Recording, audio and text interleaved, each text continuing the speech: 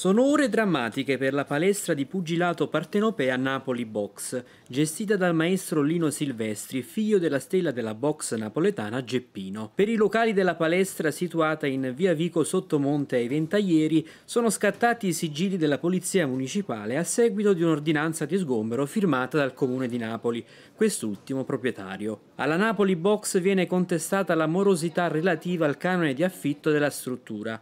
Ecco le parole del maestro Silvestri. Noi dobbiamo restituire al Comune per un danno erariale di quasi 2 milioni di euro perché hanno voluto considerare i 500 euro stabiliti dal primo momento in cui ho messo piede qua con un bando, un regolare bando 500 eh, euro a fronte di una ristrutturazione di un locale abbandonato e fatiscente. Poi l'appello diretto al sindaco Gaetano Manfredi. Sindaco, scendi da San Giacomo, non parlare più con Mattarella e col, e col Papa solamente.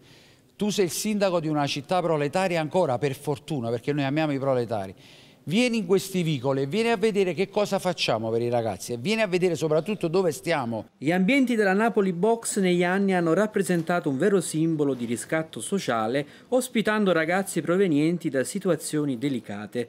C'è anche chi, nonostante abbia cessato la propria attività agonistica da anni, dà il suo contributo alla struttura, come l'ex allievo Gennaro Meillo. Sentiamo. La palestra è l'unico punto di sfogo l'unica soluzione per non fare altre cose.